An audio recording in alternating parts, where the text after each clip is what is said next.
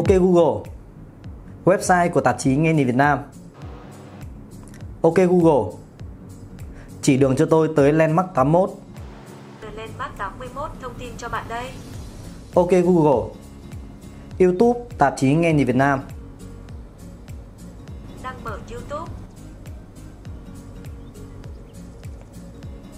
Vâng và như vậy thì các bạn đã thấy rằng hiện nay mình đang có một cô trợ lý ảo rất là đắc lực, có thể là phục vụ cho mình tất cả các cái nhu cầu về công việc. Ví dụ như là mình muốn tìm đường tới một nơi nào đó, mình muốn mở một website nào đó, hay là mình muốn tìm kiếm một kênh youtube nào đó, thì nó có thể là tìm ra cho mình và mở đến tận nơi cho mình. Ví dụ như ở đây thì mình đang tìm kênh youtube của tạp chí nghe nhìn việt nam và đó chính là google assistant. Và nếu như bạn để ý thì từ sáng tới giờ chúng ta đang rộ lên thông tin về google assistant đã hỗ trợ tiếng việt tại thị trường việt nam à, tất nhiên đó vẫn sẽ chỉ là bản beta và làm sao để cho chúng ta có thể sử dụng được cái google assistant cái phiên bản tiếng Việt thì ở đây mình sẽ hướng dẫn đến cho các bạn. Đầu tiên các bạn sẽ đi vào CH Play cho mình và các bạn sẽ tìm ra ở đây đó là Google Assistant và sau đó thì các bạn sẽ mở lên cho mình cái ứng dụng này. Đầu tiên các bạn sẽ bấm vào cập nhật cái Google cho mình này. Thứ hai đó là các bạn sẽ kéo xuống và các bạn sẽ bấm vào tham gia thì cái quá trình này nó sẽ mất một vài phút. Thì ở trên đây sẽ thông báo cho các bạn luôn. Đăng thêm tài khoản của bạn vào chương trình. Việc này có thể mất vài phút. Thì à, chúng ta sẽ cùng kiên nhẫn và chờ đợi. Sau khi mà các bạn đã cập nhật cũng như là đăng ký hoàn tất các bạn sẽ thoát ra cho mình và các bạn sẽ mở lên ở phần Google này. Bình thường thì các bạn sẽ nói ok Google là nó đã mở ra rồi, nhưng mà không biết chiếc máy này của mình làm sao. Cài hoài mà không được ok Google nên mình bắt buộc phải vào đây. Sau khi vào đây rồi thì các bạn sẽ nói ok Google và các bạn sẽ nói ra những gì mà các bạn cần Google Assistant hỗ trợ. Ví dụ ở đây mình đang nói nó mất rồi. Ok Google. Bạn có thể làm gì?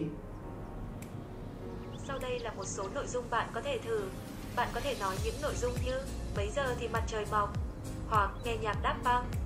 Để xem thêm bạn chỉ cần vuốt qua các lựa chọn trên màn hình. Ok Google. Thời tiết hôm nay thế nào Dự báo thời tiết tại Tân Định hôm nay 35 độ có rông bão.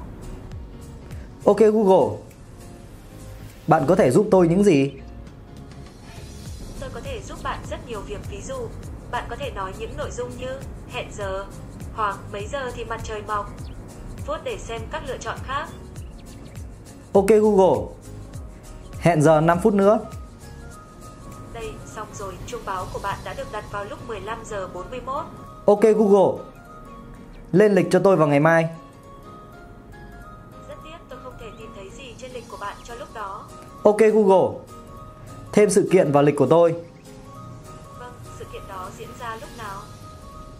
12 giờ trưa ngày mai.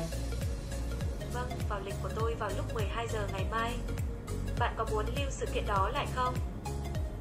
Đồng ý. Bạn có muốn lưu sự kiện này lại không? Đồng ý. Vẫn chưa hiểu ý bạn. Để lưu lại, bạn có thể nói đồng ý. Hoặc nếu bạn không muốn lưu sự kiện đó lại, bạn có thể nói hủy. Đồng ý. Xin lỗi, tôi chưa hiểu ý bạn nên đã không thay đổi gì cả.